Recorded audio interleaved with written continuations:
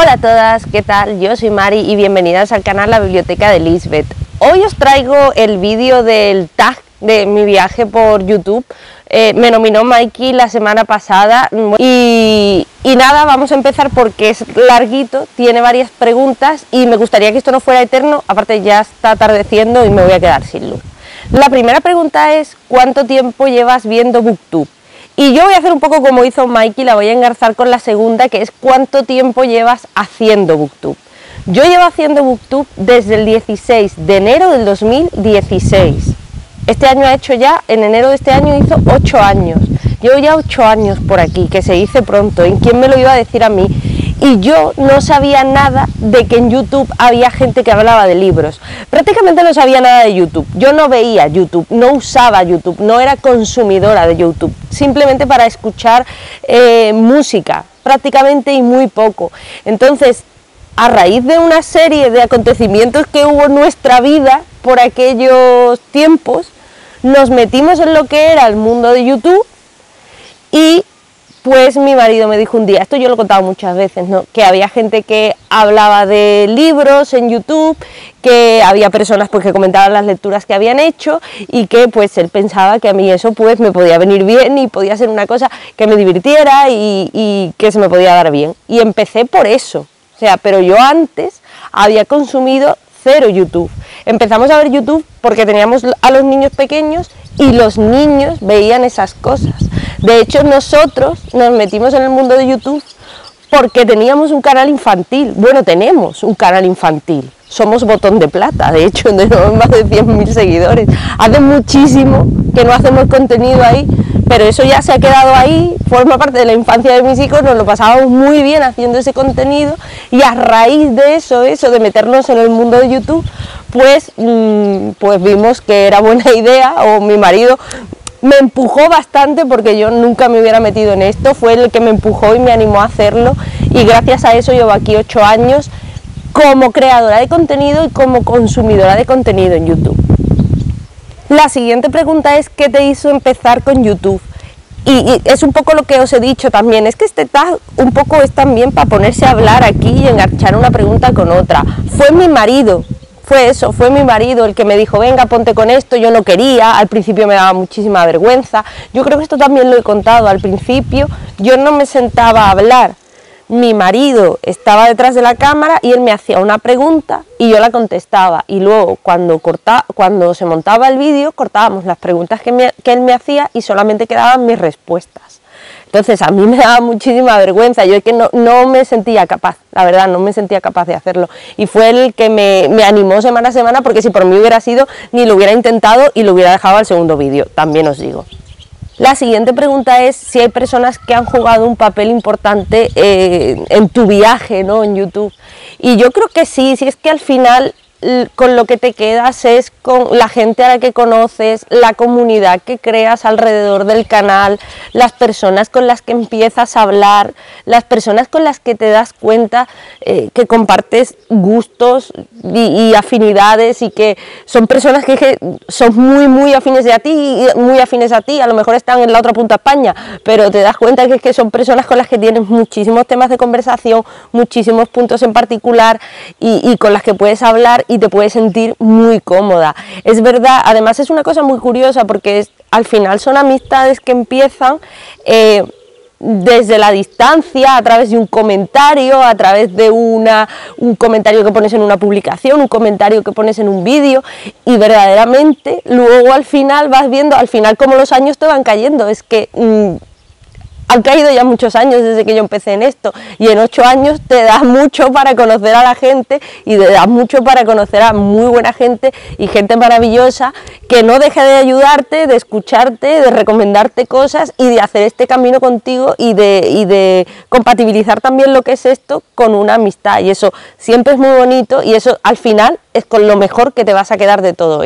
La siguiente pregunta es ¿qué tipos de libros te gusta leer? Ya sabéis, después de todos estos años, después de ocho años, yo no sé quién lleva aquí desde el principio, si queda alguien desde el principio, pero a mí la verdad es que me gusta leer de todos. Ya sabéis que yo soy una persona muy ecléctica en cuanto a lecturas, que hay épocas en las que leo fantasía, hay épocas en las que leo romántica, hay épocas en las que leo misterio. Sí que hay géneros que me gustan más, ya sabéis que me gusta mucho el thriller, que me gusta mucho la romántica, pero verdaderamente ya sabéis que es que al final yo es que leo de todo y a mí me gusta leer de todo. Yo si me dices que un libro es bueno, yo lo voy a apuntar en la lista y en cuanto pueda le voy a dar una oportunidad. Me da igual del género que sea. La siguiente pregunta es ¿qué vídeos te gusta hacer? A mí sobre todo, a mí me gusta mucho hablar de cuando hablo de literatura y de cine. El, cine es una cosa que, me, que a mí me interesa mucho, ha cambiado mucho mi manera de leer desde que tengo el canal y también ha cambiado mucho mi manera de ver películas desde que tengo el canal. Lo analizo todo mucho más, veo cine de forma mucho más consciente y me gusta ver cine de forma mucho más consciente, que es algo que me pasa también con los libros. Y verdaderamente a mí, es, a mí me encanta. Yo si verdaderamente tuviera tiempo y estuviera ociosa, creo que me haría también un canal de cine o, dejaría esto y, empezaría a hacer algo relacionado con el cine porque es una cosa que me gusta mucho. Y todos los vídeos que hay en el canal en los que se combina la literatura con el cine son vídeos que me ha encantado hacer y que me gustan muchísimo y me gusta un montón. Y a mí como consumidora de YouTube, el cine también es una cosa que me, que me encanta ver, que me gusta muchísimo ver. Entonces, a mí es, son los, es el tipo de vídeo que más me gusta. Es verdad que los que lleváis aquí un tiempo y habéis visto ese tipo de vídeos de película, mm, eh, libro, curiosidades y tal, son, son vídeos que tienen mucho trabajo, que son muy trabajosos, sobre todo de guionizar y de preparar y de investigar. Y yo ahora no tengo ese tiempo para hacerlo. Es una lástima, porque verdaderamente si tuviera tiempo me gustaría hacerlos. Aunque esos vídeos la verdad es que en una época que funcionaba muy bien y ha pasado el tiempo y ya no los ve ni el tato. Pero en fin, que son vídeos que me encanta. Es lo que más me gusta hacer, donde más cómoda me siento y donde más disfruto y mejor me lo paso. La siguiente pregunta es, ¿cómo ha cambiado tu estilo? Mi estilo ha cambiado completamente completamente. A mí me gusta mucho verme, fijaros que yo soy muy vergonzosa y me tengo muy baja estima, sin embargo a mí me gusta mucho verme y de vez en cuando periódicamente me revisiono y, ha cambiado mucho, principalmente porque al principio estaba completamente quieta, completamente parada, completamente no me podía mover, no era capaz de hilar un pensamiento con otro, con lo que a mí me gusta hablar, no movía nada las manos, que creo que es algo que muchas de vosotros agradeceréis porque es un comentario que me decís mucho, que no mueva tanto las manos. Yo es que hablo con todo el cuerpo, me encanta hablar con todo el cuerpo, yo lo explico todo con todo el cuerpo y hablo mucho con las manos. Y, y es algo que al principio no hacía, pero que es algo que a mí como persona me caracteriza mucho y es algo en lo que me he soltado mucho. Ya no necesito tampoco, ya no me hace falta guion, la mitad de las veces me siento aquí y suelto lo primero que se me ocurre. y todo, todo, la voz, la respiración, a mí hay una cosa que me da mucha rabia y es que se oiga la respiración, ¿no? Cuando estás, y es algo que ya tampoco me pasa, que al principio en los vídeos sí que me pasaba, ha cambiado absolutamente todo.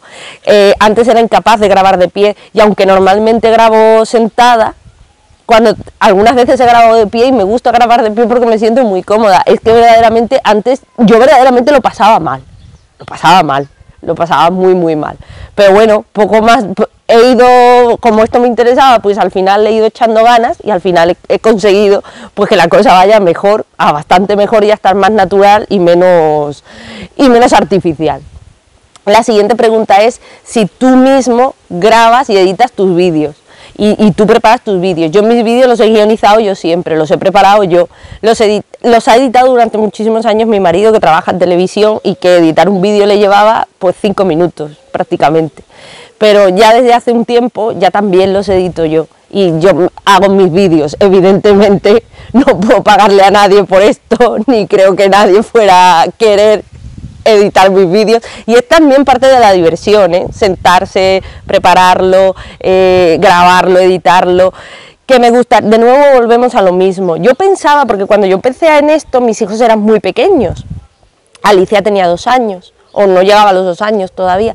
Y yo pensaba que conforme los niños fueran más mayores, iría teniendo más tiempo para esto, pero no sé por qué, Los niños han sido más mayores y son más independientes, pero yo tengo muchísimo menos tiempo para dedicarle a esto.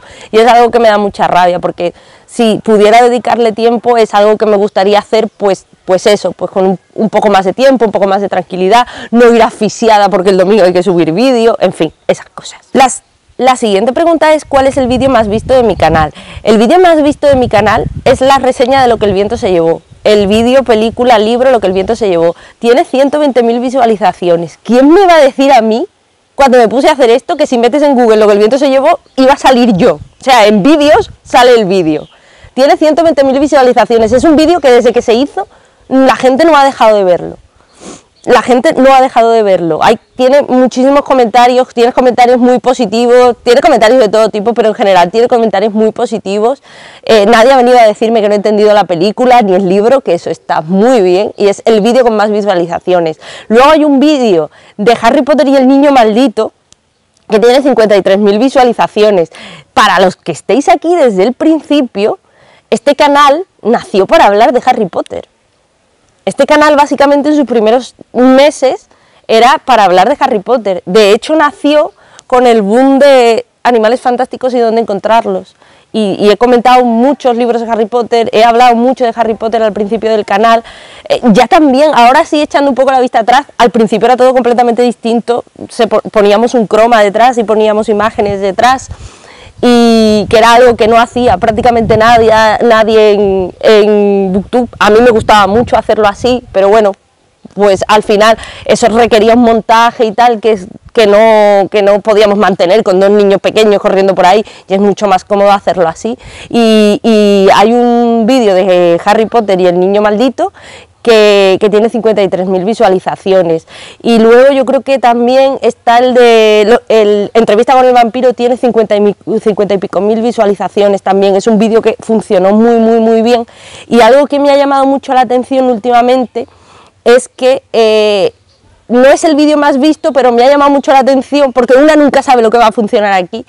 Y la reseña de tan poca vida ha ganado muchísimo fuelle, ha cogido muchísimo fuelle estos últimos meses y tiene como veintipico mil visualizaciones también. Me ha llamado mucho la atención cómo esa reseña, que las reseñas no funcionan nunca y que es un vídeo que además hice súper rápido y de forma completamente improvisada, que no tiene nada, pero que al final llama la atención, se posiciona y la gente la ve. Y es, es, que es eso, una nunca sabe lo que va a funcionar. Te preparas un vídeo con todo el empeño del mundo y con todo esto y no lo ve ni el tato y un día te sientas delante de la cámara, dices tres cosas y resulta que a la gente le encanta o que ese día el algoritmo está de tu lado y posiciona el vídeo y se harta de verte la gente. Y eso es así. La siguiente pregunta es ¿cuál es tu vídeo favorito de todos los que has hecho? A mí particularmente el vídeo de lo que el viento se llevó me gusta mucho. El vídeo de lo que el viento se llevó, el vídeo de matar a un ruiseñor, volvemos al al cine y literatura, el, vídeo de Matar a un ruiseñor también y el vídeo del color púrpura también. El color púrpura es que me encanta cómo está ese vídeo.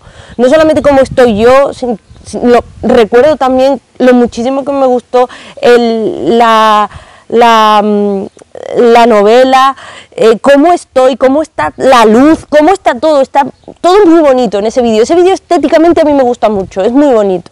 Y lo que el viento se llevó me encantó cómo quedó, me encantó cómo estoy. Son historias que a mí me tocan mucho y son historias que a mí me tocan mucho, que, tienen mucho que ver conmigo y con mi vida y me gusta mucho cómo estoy en esos vídeos. Y ya más reciente, hace unos años, hice un vídeo que era un vídeo completamente improvisado.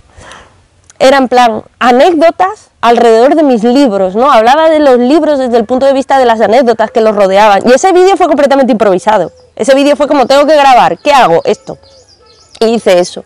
Y ese vídeo quedó muy bien. A mí me gusta mucho cómo está ese vídeo. Y el año pasado hice uno de cosas maravillosas que me pasan cuando leo, que también me gusta mucho cómo quedó. De hecho, es el vídeo es el vídeo que aparece cuando entras en el canal, en la cabecera del canal, es el vídeo que sale. Me gustó mucho cómo quedó ese vídeo. Pero hay, hay vídeos que me, que me gustaron mucho. También es verdad que algunos vídeos algunas veces se les coge coraje por eso, por lo que he dicho, ¿no? Que te los preparas con mucho cariño, los haces con mucho cariño. A ver, al final no vamos a hacer millonarios con esto, pero en algunos vídeos tú pones muchas ganas y luego te da mucha pena que la gente no los vea y les coges, yo a algunos les tengo un poco de coraje, porque me dieron mucho trabajo y funcionaron muy mal, pero bueno, son cosas del algoritmo y son cosas de la plataforma. Y me está apuntando mi marido también, que como se entere y que no diga que es el suyo, es verdad que hay un vídeo que hice con Ali, que es Ali pequeñita, lo puse en Instagram hace poquito, que es el vídeo que hicimos hablando de Concepción Arenal. Ese vídeo es precioso. Está mi hija, que es una muñeca, es que está para comérsela, es precioso. Lo hicimos las dos con unas ganas, nos lo pasamos de bien. Es que, es, que ese vídeo es muy bonito, porque además es que verla a ella es que está preciosa, tan rubia, tan simpática, tan, tan genialosa, es que está estupenda, está estupenda. Ese vídeo es muy bonito también. La, la siguiente pregunta es si tengo algún libro favorito que leí gracias a Booktube y muchos, incontables. Así a bote pronto podría decir la, vegetariana de Han Kang, que lo leí gracias a Booktube y lo leí gracias a Mikey y es un libro que me encanta, está entre mis libros favoritos. Nuestra parte de noche de Mariana Enríquez, que lo leí gracias a Juan y que está también entre mm, muchos, mm, entre uno de mis libros, es uno de mis libros favoritos ahora mismo y yo creo que se va a quedar conmigo para toda la vida, es un libro impresionante. Y por ejemplo, sin esta plataforma nunca hubiera empezado a leer a Brandon Sanderson, en general no hubiera empezado a leer fantasía y no hubiera empezado a leer a Brandon Sanderson. Y yo creo que sobre Brandon Sanderson es como mm, en otros autores, en otros libros, eh, hubiera acabado recalando a lo mejor la vegetariana lo podía haber lo podía haber acabado leyendo o nuestra parte de noche porque yo ya leía muchísimo antes de tener el canal. Pero fantasía yo no había tocado prácticamente en mi vida. Y yo creo que sin, eh, sin booktube no hubiera empezado con la fantasía y no hubiera empezado a leer a Brandon Sanderson, que empecé a leerlo gracias a Ana González Duque, que ya sabéis que me encanta, la he mencionado mil millones de veces, tenéis que leerla porque es maravillosa y es una de las autoras también que he descubierto gracias a, a esta plataforma. La siguiente pregunta es, ¿cómo es tu colección de libros?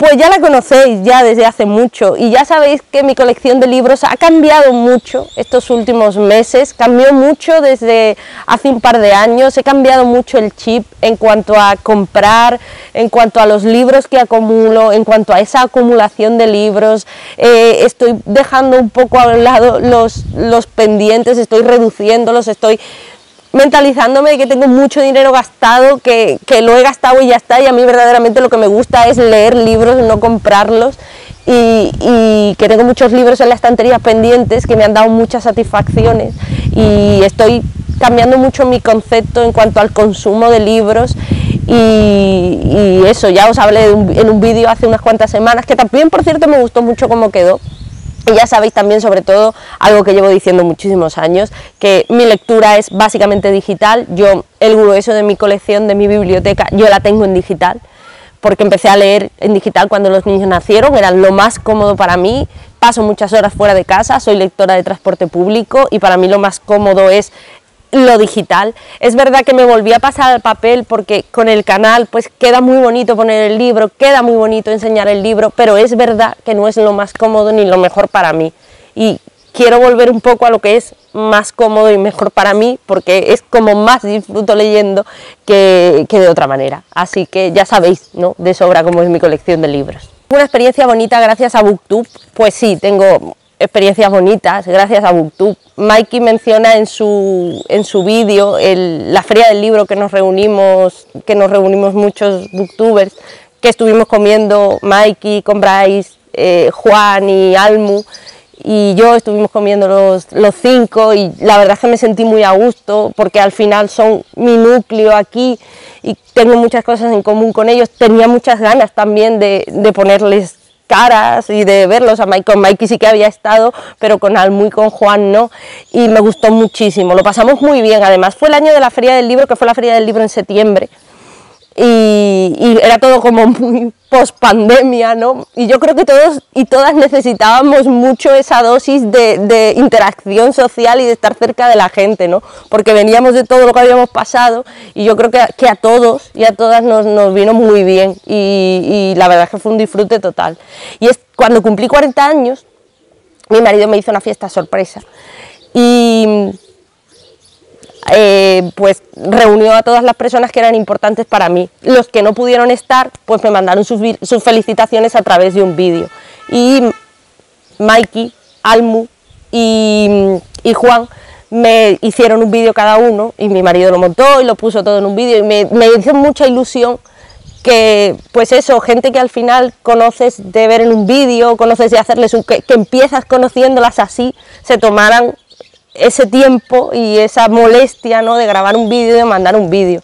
Y es eso, ¿no? Al empiezas con un comentario en un vídeo, empiezas con una, una recomendación, empiezas con tal y acabas haciéndote un círculo de confort, que es que para mí eso es muy importante, porque yo lo he dicho muchas veces, yo soy una persona muy tímida, me cuesta mucho relacionarme y para mí eso es muy, muy, muy importante. Y fue un detalle que me pareció una cosa preciosa eso, que se tomaran ese tiempo y que se tomaran esa molestia para mandarme una felicitación por mi 40 cumpleaños.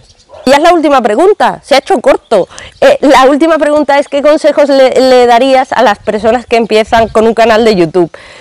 Yo creo que ya aquí ya quedamos las viejas glorias, que ya nadie se hace, poca gente se hace ya un canal de, YouTube para hablar de libros. Para hablar de otras cosas sí, pero para hablar de libros no. Es verdad que hace tiempo que no veo a gente nueva por aquí. Hay gente que, que ha dado el salto, que estaba en Instagram y ha dado el salto aquí a YouTube, porque sí es verdad que si te gusta charlar, y, extenderte y explayarte, eh, es muchísimo mejor YouTube. Pero es verdad que parece que últimamente está más de moda el consumo de vídeos rápidos, el consumo express, digamos, las reseñas más rápidas, otro tipo de contenidos en relación con los libros.